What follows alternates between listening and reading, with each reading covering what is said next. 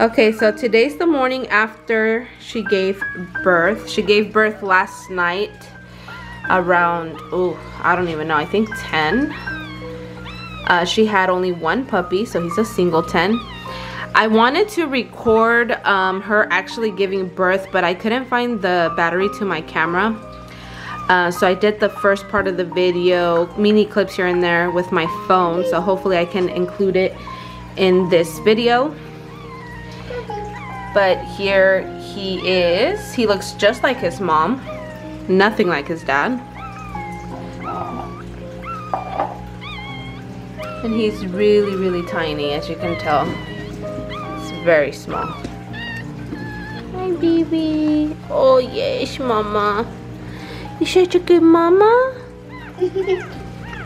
so what I did, um, I actually got this box. It's a box from um, an Amazon order I had and um, normally what I do I get big boxes like this from Walmart and I'll set it up. Normally they're a little bigger than this um, but she's small she has enough space here. I'm gonna go ahead and um, clean out her area and you know give her a fresh blanket and everything. Um, but you know this works. I did keep a timer on my phone uh, so I could keep um, an eye on her throughout the night. And every time that I came to check on her, she actually did very great. Like, she would keep her baby warm, she would let him feed on her. And, you know, she is a first time mom, so I know at first she was kind of like um, feeling a little weird with him drinking from her. But I think she's getting the hang of it and understands a little bit more of what's going on.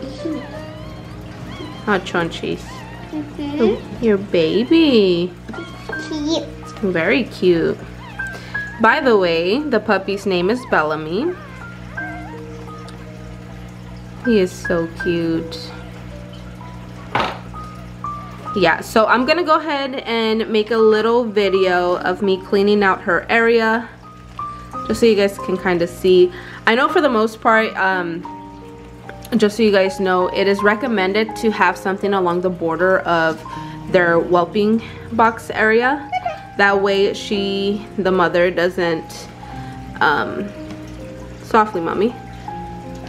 She doesn't suffocate her puppies as she sleeps or anything. Like I said I make sure I keep I make sure I keep an eye on them even throughout the time that I'm trying to sleep and I am not worried at all when it comes to Chonchi. She's very, she's a very Scratch. good mom. Very softly, mommy. Yeah. So cute, huh? She loves her baby.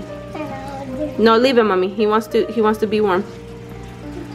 Now he wants to eat. So Chonchis is actually a pom I produced from my very first litter. My daughter's actually the reason why we kept her. She wanted her they're pretty much best friends. So if you guys go on any of my social medias whether it's facebook or instagram you guys will see um, the bond that they have. I take a lot of pictures of them together. Huh natalie? Um, so that's why Chonchis is very comfortable when my daughter touches her puppy. This is actually the first time my daughter is touching the puppy. So you can tell that Chonchis is not worried about it at all. Her little paw, yeah. Okay, so I brought Taz to meet his baby. Let's see if Chonchis is okay with it. Because I know Bumpy's gets a little crazy. Hi. That's your baby. That's your son. That's his son, isn't it? Yay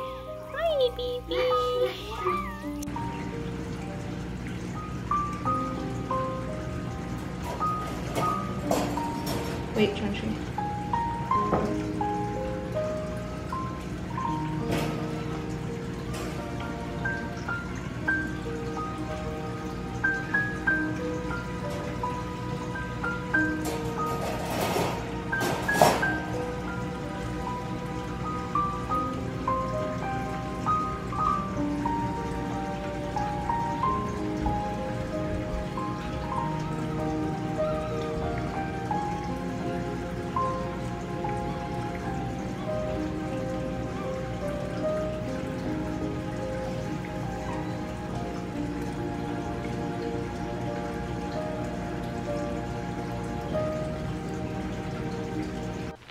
Hey guys, um, this is not how I intended this video to end. And this is not the video that was intended to come up next on my channel, but it's barely a 9 in the morning. And, um,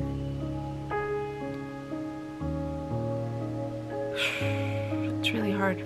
I had to get in the shower and just cry it out. Really try not to cry on camera. It's harder too, like when I saw Chonchis this morning, she was just kind of like looking at me kind of desperate and I already knew what happened because my boyfriend's the one that found him. And, um, you know, I grabbed him and I think it was fairly recent when he had passed because he was still very soft. You know, I was still able to move him completely and so I grabbed him and I start moving my hands around with him in between them. Trying to create some friction, trying to see if I can revive him somehow. But even just looking at his face, I knew that he wasn't gonna come back. Chonchis just looking at me. And uh, man, she she surprised me because she was actually a very good mom she you know anybody that's ever met Chonchis knows she's a little spunk you know she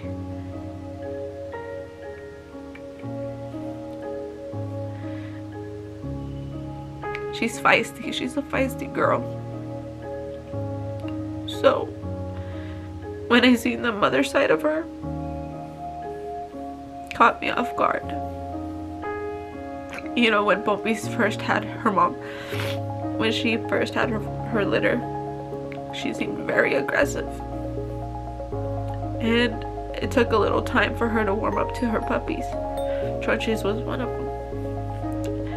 And so I was kind of on the fence if her personality plus, you know, what could possibly running in her genes, um, she would have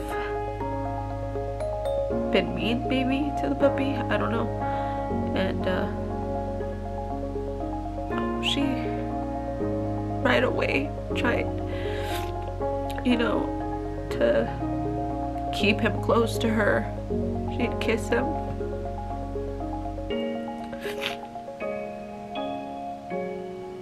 she she was a very good mom she is a very good mom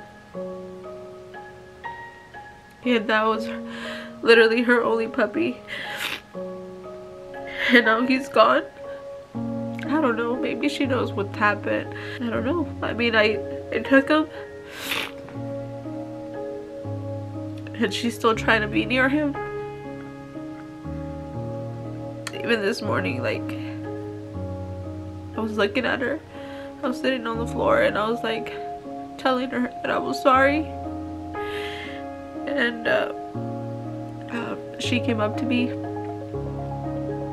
and she put her head down and it's like she was asking me to hug her and I gave her a hug and I was just rubbing her back and she was making these whimpering noises. I don't know if you guys can hear the noises she's making.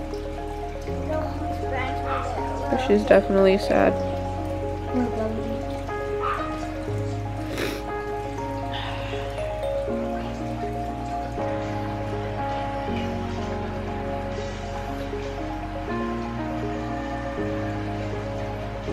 I'm sorry, Church.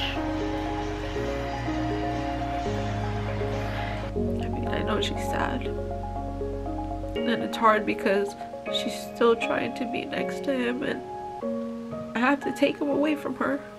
I don't know if she's gonna be upset at me for it, you know, or if she understands that I have to do it. When he was born, I did notice that he was very different from the others. He was much smaller. His head looked a little bigger than his body. Some pictures you can tell, others you can't. I even had this discussion with my boyfriend yesterday. You know, I was telling him that I hope he pushes through because he's very small and he seemed very weak because there would be times where I'm hearing him eat or I would think he's eating because you can hear the little suction noises. And uh, but sometimes I would get Chonchis in him and I would try to latch him on. And he would want to he, he'd have a very hard time finding uh, where to eat from and sometimes when he would you know how well normally what puppies do when they're eating they're pushing against their mom to get the milk out. I never once saw him do that. Uh, like I said he would have a very hard time finding it to begin with and when he would find it he would suck very softly on it. And then he'd stop and it's like he would tilt over. He was just it's like he had no energy. And you know I'm still fairly new at breeding. I knew that it was a possibility to lose a puppy all the breeders that I know of and I'm closer to um, they have lost a puppy you know? So I knew that it was something that could have happened and I just always hoped that it would have never happened to me. Um, and it did. And I mean going through this experience is also a learning experience for me. I just wish that I was better prepared for this situation because then maybe I could have helped or done better and maybe he could have been here. You know and I, I know it's like don't guilt trip yourself and all that but that's kind of where the reality comes because it's if I would have been someone that's more experienced with these types of situations then I could have done more. Who knows if he could have still been here? Dang it just hurts. It really does. Like I didn't think it would hurt this much. And like the more I think about it the more sad I get you know in memory of him I wanted to put this video together and just put it out there you know and just share the little time I had with him that's what fucks me up too because I remember yesterday uh, after I filmed the middle part of the video I was like I wanted to record a little bit more uh, showing you guys just Chonchis interacting with him and you know just a little update. And I remember I was like I'll do it later. I'll do it later. You know I was trying to push it off.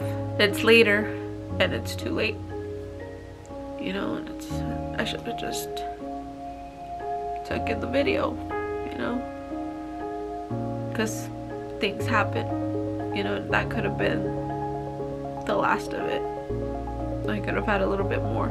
Even though it's sad news, I hope that you guys enjoy the little bit of memory that we have left of Bellamy. I just wanted to add, um, you know, how I said, like, I wish I was more experienced for for this this type of situation. Maybe he could have been here. To become experienced, you have to go through shit and learn, you know. You can't just always learn things from a book you gotta experience it sometimes and